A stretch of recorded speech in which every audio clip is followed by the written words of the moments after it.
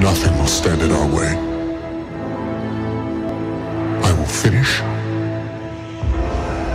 what you started.